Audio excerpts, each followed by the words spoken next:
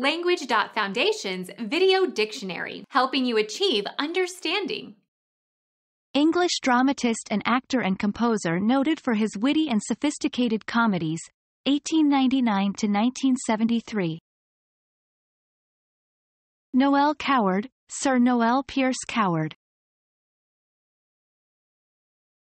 A person who shows fear or timidity. Become our student and get access to effective and free educational materials. Subscribe to our channel to become a part of our growing community and to learn English effectively.